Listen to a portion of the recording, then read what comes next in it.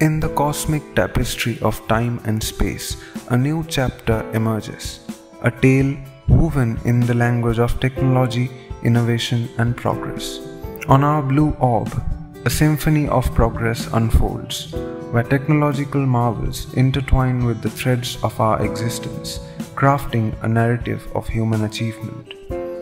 Behold the city of tomorrow, a utopian vision where innovation dances with imagination, propelling us to new heights. Yet within that realm lies a cautionary glitch, an apocalyptic dance with unintended consequences of our creations. From the ashes of caution rises Taksha Tattva Sangraha, exploring the dichotomy of our technological journey